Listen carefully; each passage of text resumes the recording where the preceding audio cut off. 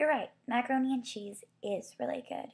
But have you ever thought about all the calories you're putting into your body that are going to clog your arteries and congest your heart and make you have a heart attack at a young age, which means that you will end up having to go to the hospital and receive medical care, which will definitely drive up all of our healthcare costs. It will make it much more expensive. Everyone's deductible will increase. And basically, at the end of the day, you eating mac and cheese means that the person who lives next door to you, who's like a struggling student, is going to go broke.